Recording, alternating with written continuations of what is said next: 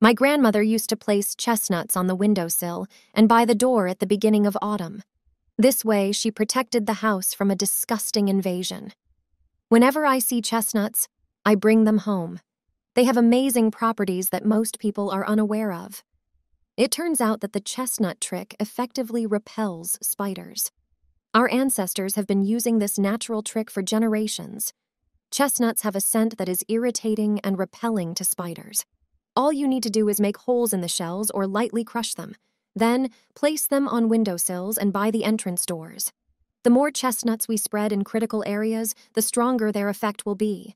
Spiders and other bugs will steer clear of them.